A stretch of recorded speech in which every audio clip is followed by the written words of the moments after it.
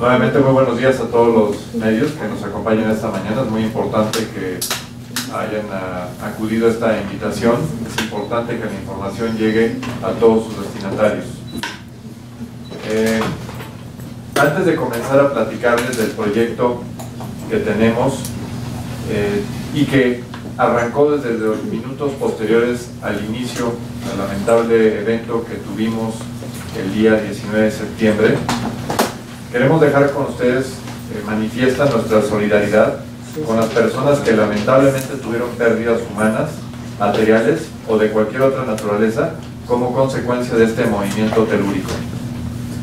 También, como parte de este país, agradecemos a todas y cada una de las personas que con su labor han sido admirables en los temas relativos a rescates, centros de acopio, albergues, víveres, herramientas, mensajes y demás, porque despertaron un verdadero sentido de solidaridad y colaboraron para que la atención inmediata ante la emergencia fuera justamente la que nos permitiera levantar al país de una enorme tragedia. Precisamente es que en ese rubro se, se incluye y se inscribe nuestra participación.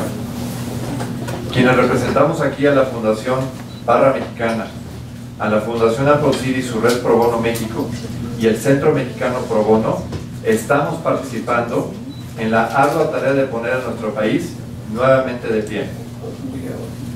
Vamos a los detalles.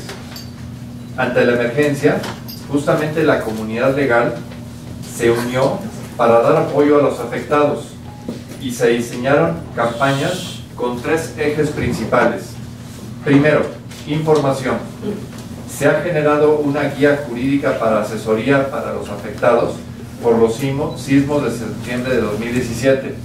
Esta guía fue posible realizarla con el apoyo de más de 10 firmas de abogados que se desarrolló en una forma, digamos, fácilmente entendible y que permite a primera vista entender cuáles son las principales aristas de los problemas legales que surgen con un evento de esta magnitud. Esta guía es visible en internet principalmente en dos links o dos eh, direcciones electrónicas. La primera es probono.org.mx y la segunda es www.juridica19s.org, quien han sido amablemente eh, patrocinan y de alguna manera albergan también esta información. La segunda forma de ayuda ha sido mediante la asistencia legal directa. Esto quiere decir que tenemos justamente la posibilidad de recibir, atender y tratar de solventar lo mejor posible a personas que lamentablemente se han visto afectadas y que tienen problemas legales que hay que resolver. Tercero, tenemos el efecto de las brigadas jurídicas, que se, se traduce en tener justamente a grupos que se aglutinan y reciben asesoría directa de parte de justamente abogados que acuden al lugar de los hechos para brindarles la atención en estos momentos de tantas necesidades. Como lo decía hace un momento, esas tres organizaciones civiles comenzaron a trabajar desde prácticamente el mismo momento del sismo y hasta ayer martes por la noche ya hemos sido capaces de atender alrededor de 258 solicitudes de asesorías legales y el número sigue creciendo. Sin embargo, justamente sabemos que hay mucha gente que aún no se repone del impacto de este movimiento telúrico. Hay otros que lamentablemente desconocen a quién acudir para comenzar a rehacer su vida desde el punto de vista jurídico, legal. Y muchos otros más desconocen también de qué modo es que las leyes mexicanas los amparan, los protegen ante esta situación. Por esto mismo estamos hoy con ustedes, para difundir, para solicitar que transmitan nuestro mensaje a la mayor cantidad de gente posible y que por esta vía les digamos, estamos aquí para ayudarles con asesoría gratuita de tres organizaciones sólidas, con muchos años de trabajo colaborativo, que contamos con el respaldo de muchas firmas de abogados que han donado justamente su tiempo y lo seguirán haciendo para tener este impacto con calibre nacional e internacional y tener la posibilidad de aportar talento y conocimiento jurídico para apoyar a todas estas personas a todos los ciudadanos, todos los compatriotas que, insisto, lamentablemente han sido afectados. Los despachos de abogados que ya señalé donan su tiempo, conocimiento y experiencia, tienen trayectoria en el ámbito jurídico y se han relacionado o se han recibido justamente peticiones para recibir ese tipo de conocimientos. Una de las partes es justamente determinar si las personas tienen derecho a hacer algún tipo de reclamo, cuáles son las vías en las que pueden hacer la mejor solicitud para obtener algún beneficio, etc. Por ejemplo, en créditos hipotecarios se pregunta si hay o no cobertura, se pregunta qué pasa con los propietarios, si tuvieron afectaciones u ocasionaron daños a inmuebles de terceros, qué tipo de responsabilidad tienen. Y así tenemos otras preguntas, por ejemplo, en materia de arrendamiento, si su casero dice que hay o no hay daño estructural, si se sienten confiados o no porque hay daños visibles o temores respecto a la estabilidad de las construcciones en las que se encuentran, etc.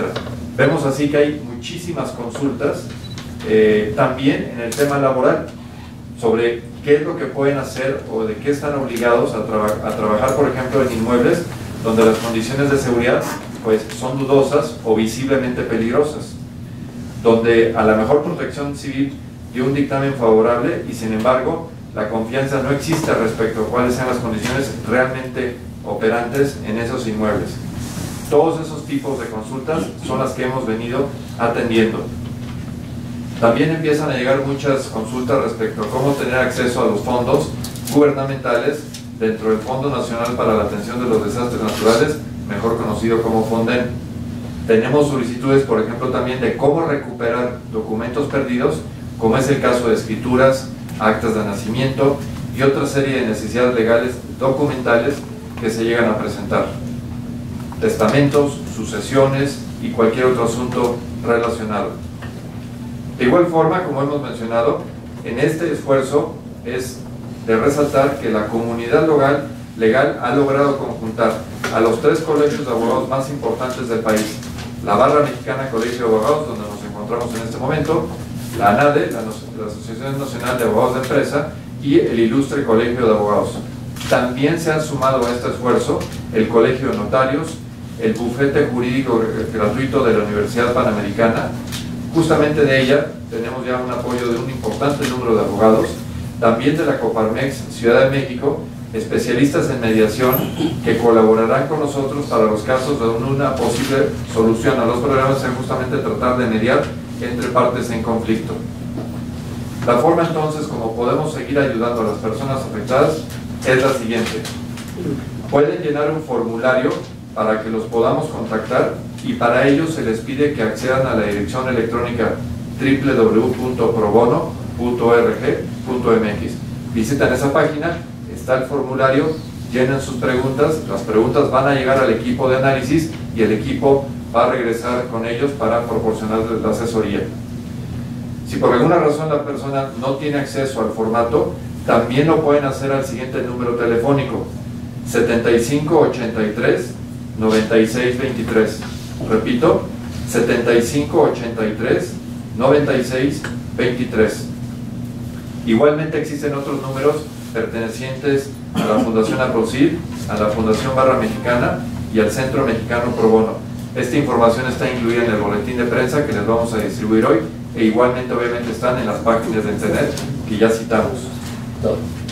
Allí les haremos justamente algunas preguntas, las, las personas que se acerquen, para definir cuál es la situación jurídica que opera en cada uno de estos casos y que podamos entonces apuntarlos en la dirección correcta. Hay que señalar que es muy difícil dar asesorías generales, se tiene que hacer por casos particulares.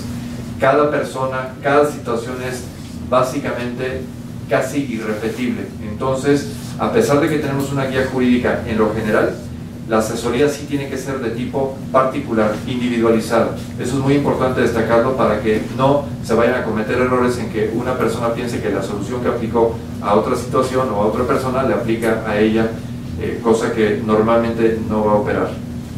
Esta asesoría jurídica, repito, que vamos a, a brindar por los medios electrónicos establecidos, va a estar sustentada y apoyada por los despachos que estamos participando y que deseosos de poder aportar y regresar algo de tranquilidad a tantas personas que han sido afectadas. Así la comunidad jurídica se cierra, se, se cierra en cuanto a grupo, se abre en cuanto a apoyo y tenemos esa enorme posibilidad, insisto, de dar un apoyo profesional en estos momentos tan importantes. Agradecemos obviamente la difusión que le puedan dar este mensaje y estamos seguros que muchas personas encontrarán en esto una luz en el camino ante tan difícil situación que para muchos se ha presentado repentinamente. Este tema además, hay que señalarlo, no se va a resolver en unas horas, en unos días, va a requerir semanas y meses de apoyo. Y las vías que estamos dejando abiertas justamente estaremos disponibles hasta que podamos brindar la asesoría y el apoyo durante todo el tiempo que sea necesario. Muchas gracias. Bueno, eh, la Fundación Barra Mexicana se crea en el año 2000 con el firme propósito de brindar asesoría y representación legal a personas de muy escasos recursos. Lo hacemos a través de dos programas que tenemos, uno que se llama Orienta Legal, que va dirigido a personas físicas y atendemos prácticamente en todas las materias. Somos filial de la Barra Mexicana Colegio de Abogados, que, que agrega aproximadamente 4.500 abogados, entonces tenemos la posibilidad de brindar esta asesoría en todas las especialidades. Principalmente en qué materias, en materia penal, en materia laboral, en materia civil familiar, en materia mercantil. También tenemos otro programa, que es un programa corporativo que va dirigido a organizaciones de la sociedad civil y en ese programa principalmente apoyamos a, las organizaciones en materia corporativa, en materia fiscal y en materia administrativa. Y básicamente esos son los dos programas que tiene la, la fundación y también tenemos presencia en algunos estados de la República, ya que la barra tiene eh, barras y capítulos asociados en estados de la República como Monterrey, bueno, de Nuevo León, este, Jalisco, Querétaro, bueno, Querétaro no, perdón, este, Puebla, Guanajuato, y, es por eso que tenemos presencia también en otros estados, también en San Luis Potosí, básicamente porque somos. Gracias nuevamente, muchas gracias por su presencia. La Fundación Aproxid y su red Pro Bono México somos obviamente una organización sin fines de lucro que por medio del talento de abogados tenemos dos pilares de actuación. Uno es la identificación de temas de alto impacto social que por medio de una investigación legal profunda podamos hacer recomendaciones, ya sea de, tipo de cambio legislativo, cambio política pública, en el que tratamos de solucionar temas para la mayoría de, de, las personas. Y por otro lado, nuestra red Pro Bono damos asesoría legal gratuita a las organizaciones de la sociedad civil en todos sus temas desde cómo constituirse, eh, cualquier tema de asesoría legal, fiscal, corporativa. Nos, eh, damos también clases y apoyos para la promoción de la cultura pro bono en México, precisamente para tener este gran apoyo de los abogados, en el que damos también mucha difusión al trabajo pro bono. Eh, esperamos que difundan nuestro mensaje, ya que esta campaña que hemos hecho como comunidad es muy importante. Gracias. El Centro Mexicano Pro Bono es eh, de igual forma una asociación civil sin fines de lucro, eh, surge en el 2015 y su principal, bueno, su finalidad es coordinar el trabajo pro bono legal, es decir, aquella, aquel servicio legal profesional sin retribución económica eh, y damos asesoría, capacitación y apoyo legal a tres, a tres grupos de beneficiarios principalmente. Grupos vulnerables de la población, organizaciones de la sociedad civil y emprendedores sociales. Y entonces tenemos una red de abogados, eh, de igual forma, igual que, las organizaciones con las que estamos eh, presentes hoy en día, eh, coordinando ese trabajo para el principal objetivo de todo esto es acercar el, o facilitar el acceso a la justicia de grupos vulnerables, ayudar a estas organizaciones de la sociedad civil y generar legalidad y desarrollo social y, económico en el caso de los emprendedores sociales o de escasos recursos. Tenemos aquí obviamente que el temor que puede despertar eh, entrar a una edificación que ha sido dañada es perfectamente entendible que la ley no puede obligar a alguien a laborar en un lugar donde visiblemente haya algún problema de seguridad. Ahora bien, Aquí lo que hay que tratar de entender es que esto no debe ser una cuestión de mero criterio, sino que hay procedimientos legales para justamente determinar si ese lugar está seguro o no. Aquí es fundamental el papel de los DROs, ¿no? que son al final del día los técnicos que están reconocidos por la propia autoridad para hacer los dictámenes que permiten reconocer si una estructura, si un edificio está o no en condiciones de ser habitable si requiere o no reparaciones y si requiere reparaciones, de qué calibre, de qué calidad son esas reparaciones. Lo que hemos visto en algunos casos, justamente por la magnitud del impacto, es que Protección Civil se ha visto totalmente rebasada y no ha necesariamente, eh, digamos, contado con todos los dictámenes técnicos que les permitan hacer una respuesta totalmente solvente. Entonces, lo que nosotros podríamos justamente es insistir en que a través de las autoridades en cada una de las delegaciones donde están estos inmuebles, se tiene que hacer la inspección, pero la firma final que determine la situación tiene que provenir de un técnico, eh, que los conocemos, insisto, como DROs, son los que finalmente tienen que estampar su huella y estampar su firma en un dictamen en que se sepa si hay condiciones o no para evitar, y repito, y si no, qué tipo de reparaciones haya que realizar. O sea, no pueden ser despedidos los trabajadores. No, o sea, si, mientras el inmueble no esté certificado de que está en condiciones de ser operado, no podría ser efectivamente su contrato de trabajo rescindido. Ahora, si llegado el caso está dictaminado que el inmueble sí está en operaciones y está en condiciones de albergar un centro de trabajo, pues ahí sí tendrían que sujetarse a las consecuencias si alguien decide por alguna otra razón no hacerlo. Pero repito, son cuestiones técnicas que se tienen que resolver en forma técnica y en forma solvente. No es una mera apreciación, no es una mera visita, se requiere de un estudio profundo para llegar a una determinación final. Hasta el momento hemos recibido 258 peticiones vía telefónica y en las brigadas que hemos comentado, que hemos asistido a los lugares, se han atendido alrededor de 400 personas. Eh, el, alrededor de un 85% de estas consultas han sido relacionadas con temas de inmuebles. Eh, también hemos recibido varias consultas sobre seguros. Desafortunadamente tenemos 112 casos que han hecho alguna petición de ayuda por tema de algún familiar fallecido o desaparecido, que también han llegado a, tocar temas testamentarios o temas de sucesiones. Eh, normalmente ahorita también está incrementándose en los últimos días, hemos también recibido llamadas sobre temas laborales. Eso es más o menos la distribución de los, de los casos y las áreas en las que están pidiendo apoyo. Yo creo que cada persona tiene que acercarse a las, eh, digamos, fuentes eh, serias y formales que pueden eh, apoyarlos. Por ejemplo, si tuvieran alguna cuestión de un seguro, que la, la AMIS y lo que es la comunidad de seguros están muy abiertos a, cubrir todo lo que, que, corresponda de acuerdo a las pólizas, pero siempre hay una entidad atrás, como es la CONDUCEF, que puede dar un, un soporte, o Profeco, ¿no? Entonces yo creo que, y también recomendamos mucho que la gente tenga mucho cuidado a quién da su información. Hemos también recibido llamadas, el día de ayer yo personalmente recibí una llamada que me decían que llegó un gestor a pedir las escrituras y que les iban a tramitar lo del convenio. Tengan mucho cuidado. Por eso es que es tan importante que estamos queriendo presentar esta campaña.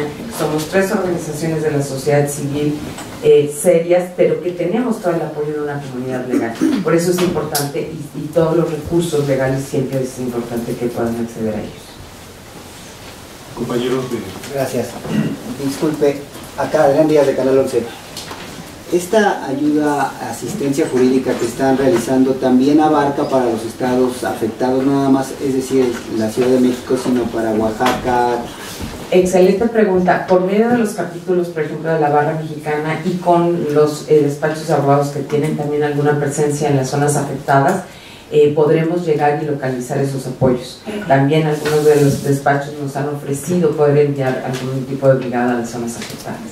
Tenemos de Morelos y de Estado de México y de Puebla también. Hemos recibido ya y hemos, estamos dando la atención a estos, a estos casos. Se tiene lo que se le llaman vicios ocultos y hay una responsabilidad que justamente el día de, de ayer se, se confirmó que serán de cinco años y también para eso estará Profeco y nosotros encantados de la vida de ofrecer una asesoría puntual, porque como decía el licenciado Torrelanda, cada caso es, es, diferente. Tendríamos que revisar, y las abogadas también les podrían comentar, los contratos, las condiciones, eh, si contaban por ser de un año, seguramente estaban pagando una hipoteca que con, generalmente contrae un seguro. Entonces, hay muchos temas, por eso es tan importante que tenemos que llegar al caso individual, puntual. Cuando se hace la entrega de un inmueble se tiene todavía un compromiso por parte de la aseguradora. Ah. El viso oculto es que no vaya a tener algún eh, desperfecto de cualquier índole durante, es como un, digamos, coloquial, abogados, perdón, que si lo digo así, este, que sea un tipo garantía por un tiempo. La asesoría legal eh, que estamos dando es totalmente gratuita, sin embargo hay, hay costos, hay gastos inherentes a los trámites que de origen no son cubiertos por los despachos o los abogados que están en nuestras redes. Eh, sin embargo, ya en otras ocasiones hemos visto la forma de, en, casos extremos, buscar la forma de poder fondear eh, esto, estas cuestiones. Pero el compromiso de estas tres organizaciones y de los despachos que lo están soportando es dar asesoría jurídica gratuita. No podemos asegurar en todos los casos que podemos cubrir los costos porque pues es, el volumen de personas en, en esta necesidad es, es, grande y no sabemos realmente hasta cuánto podríamos soportar, pero el compromiso es, es, hasta ahí. Y caso por caso podríamos ver si de alguna forma se podría ayudar, inclusive con otras organizaciones de la sociedad civil con las que estamos vinculadas, para llegarnos a estos fondos para los gastos. El gobierno de la Ciudad de México en particular, para la Ciudad de México, ya tiene varios programas con cuestiones del registro civil, eh, está expidiendo eh, actas de nacimiento gratuitas, el registro de la, del, de la propiedad y del comercio también tiene algunos trámites gratuitos, como búsquedas de, para, para tener los datos de las escrituras, y el Colegio de Notarios también ha puesto a la disposición la emisión de escrituras públicas que estén en su, en su, protocolo, es decir, cinco años eh, a la fecha, para emitir estas escrituras sin costo alguno. Entonces, hay varias eh, ya instancias que están para este tema de gastos de reposición que ya están trabajando por parte de las autoridades del gobierno de la Ciudad de México y, y por ejemplo, los notarios. ¿no? En otros estados entendemos que se quieren replicar esos esfuerzos, pero no tenemos confirmación de ello. Eh, otra vez ahí recalcamos que sería muy importante puntualizar y revisar los documentos y caso del caso concreto. Eh, en el caso eh, que, que, que, estás suponiendo, pues tendríamos que ver si realmente había daños, si fueron notificados a la autoridad, si existen los dictámenes de los DROs, si la delegación fue notificada a Protección Civil y entonces empezar a integrar el expediente para ver si existe alguna responsabilidad y de quién sería, constructora, autoridad, lo tendremos que analizar muy puntualmente y obviamente con, el con la ayuda de los DROs, como señaló eh, el licenciado Miranda, para poder ver con dictámenes y pruebas eh, si existe un tipo de responsabilidad y hacia quién. Bueno, en el caso del DRO tiene una obligación muy grande. O sea, finalmente, si un DRO no da un dictamen correcto o se atreve a dar un dictamen incorrecto, corre el riesgo de perder su cédula. Entonces, tampoco estamos hablando que es este que puede tomarlo tan a la deriva. Y además estamos hablando de vidas. Entonces, creo que la responsabilidad que tienen es muy grande. Y pues también, si se llega a dar el caso, pues hay que denunciarlo. Eso es por un lado. Por otro lado, nos hemos topado con el tema humano que, comentas, que finalmente las personas lo perdieron todo. No nada más, eh, muchas veces son personas que habían adquirido un crédito hipotecario, por ejemplo, y ante esta, ante esta este, crisis humanitaria que estamos viviendo, pues evidentemente lo están perdiendo todo. Yo creo que eso es lo más, lo más lastimoso, que, que no estamos hablando nada más de un trámite de una escritura, que no estamos hablando de un trámite de un acta de nacimiento, que como sea son documentos que se pueden recuperar, porque finalmente muchos de estos documentos ya están digitalizados y es un trámite relativamente sencillo de volver a obtener.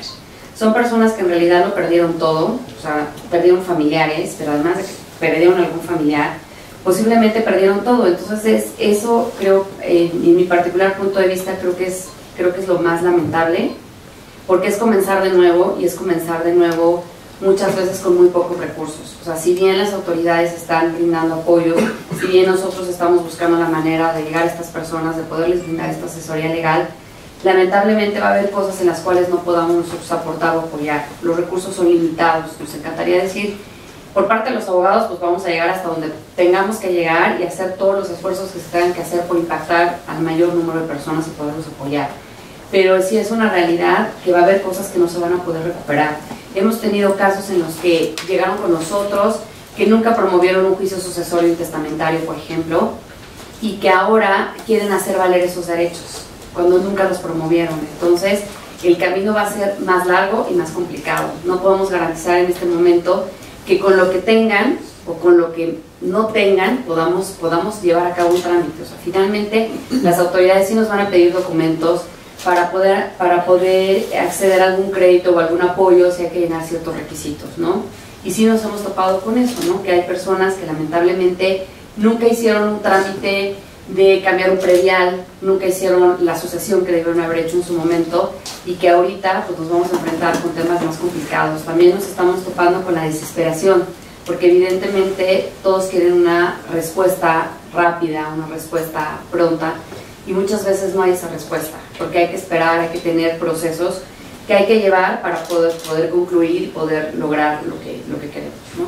En este tema de los DROs, como sucede con otras figuras que están reguladas respecto a funcionarios eh, o servidores que están certificados por la autoridad para rendir un, un servicio, un, eh, en este caso dictámenes técnicos, la verdad es que la normatividad es bastante estricta y lo que decía Carla tiene toda la razón, inclusive una falla por parte de un DRO le acarrearía no solamente responsabilidades administrativas, sino civiles y penales. Entonces, por supuesto que puede haber alguna manzana podrida, pero la realidad es que en, nuestra experiencia, esta serie, digamos, de funcionarios certificados como DROs están altamente vigilados, tienen que reunir requisitos técnicos, están sujetos a renovación y a una serie de actualizaciones en sus conocimientos, entonces insisto, si existe alguna excepción donde estas personas no están actuando debidamente, que se les denuncie. Yo diría, y una extensión de tu pregunta es que de estos eventos, y seguramente habrá, digamos, y aquí ofrezco, digamos, o, o impulso una iniciativa, donde tendríamos que generar una lista de mejores prácticas. Lo que podemos entender también de todas estas consultas es que estamos generando hallazgos de cuestiones que se pudieron haber mejorado desde el punto de vista legal. Doy un ejemplo que digamos de una mejor práctica. En materia de seguros inmobiliarios, y estos datos los pueden eh, corroborar AMIS, ha dado por entender que en nuestro país lamentablemente en materia inmobiliaria apenas el 1% de todos los inmuebles están asegurados debidamente. Entonces eso quiere decir que la enorme mayoría, el 99% de los inmuebles, no cuenta con ese tipo de protección. Yo les dejo una, un dato que, que es infalible el número, digamos, de incidentes o el número de daños que se generan en un sismo, en una ciudad por la habitación diaria, por las actividades, ese número de daños o de incidentes varían en función del número de pólizas de seguro? La respuesta es no. Es decir, no, no es que los edificios que estuvieran protegidos no se cayeron y los que no están protegidos se cayeron. Es una cuestión independiente, pero hay un efecto que sí es muy importante. Si estamos de acuerdo en que el número de incidentes no varía por el número de pólizas, la forma de absorber el costo de esos daños sí varía muchísimo si tienes una cobertura mayor. Entonces, como sociedad mexicana lo que tendríamos que hacer es apuntalar una cultura al seguro, porque eso nos beneficiaría a todos, los costos de los seguros se abatirían. En este momento alguien puede decir, yo no me quiero asegurar porque el costo es muy alto, y entonces se alimenta un círculo vicioso de no aseguro porque es alto, y como no aseguro, el costo sigue siendo alto si el número, insisto, de, siniestros no varía en función de las pólizas de seguro, lo que tenemos que hacer es generar más pólizas de seguro para que el costo que se distribuye entre más personas se abata. Entonces, sé que cuesta trabajo entenderlo, pero como sociedad mexicana tendríamos que generar, insisto, aprendizajes importantes de este tipo de eventos y uno de ellos es que tendríamos que acercarnos más a tener una cultura de seguro no es un gasto, es una inversión y hay que hacerlo. Y conste yo no represento a ninguna aseguradora ni mucho menos. Es simplemente una cuestión de conciencia ciudadana de qué es lo que nos conviene más para enfrentar este tipo de situaciones. De hecho, hemos hecho lo que se han atendido justamente solicitudes de edificios completos que inclusive, que permiten ir a hacer una brigada jurídica para atender al edificio completo. Eso facilita, en vez de segmentar, digamos, las consultas, se puede atender al grupo completo. Aún así, puede ser que la situación de cada uno de los condominios no sea exactamente la misma, porque algunos tendrían hipoteca, otro estaba en arrendamiento, otro tendría un usufructo, yo que se puede haber mil variantes jurídicas que habría que ver cada uno de los casos. Pero si se junta un grupo, digamos, que avale que haya una brigada jurídica como tal, nosotros encantados de tratar de atender a un grupo amplio en vez de hacerlo de forma individual y remotamente. Eso se puede hacer y de hecho se ha hecho ya en varias ocasiones.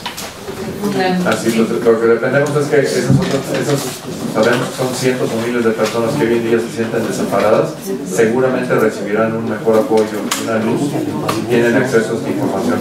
nosotros encantados de ayudar, pero tenemos que estar en contacto con los afectados y dependemos en gran medida de la cobertura que ustedes den.